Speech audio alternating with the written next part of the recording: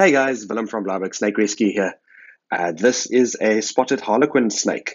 Someone found it outside of their house and they captured it in a bottle and they brought it to me. I'll be releasing this guy shortly, uh, but I just wanted to show you what he looks like first. Um, as you can see, spotted harlequin snakes have these beautiful patterns and colors down their body. Uh, these little guys eat lizards and other snakes, and they spend most of their lives underground. They don't burrow, but they do live in termite mounds and things like that. And although these guys aren't deadly, they are venomous. So if he bites you, you may experience some pain, uh, headaches, and, and, swelling, and so on. So it's definitely not something you want to pick up by hand. Uh, let me just see if I can zoom in a little bit to show you the colors here. There you go. So as you can see, he's quite a lively little guy as well. Um, but I'm just going to take him back into a suitable habitat now, and I will release him there. Thanks, guys. Stay safe.